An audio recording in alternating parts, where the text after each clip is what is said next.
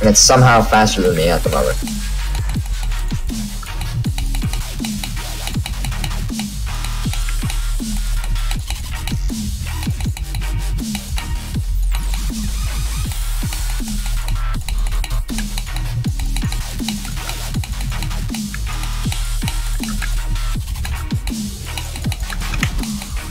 Okay, well that was fast. I already got the run.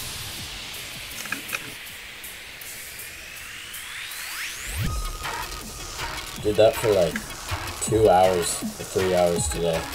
And then all of a sudden I just do it in like 10 minutes. Rip. Three attempts, 69 jumps. That's what's up.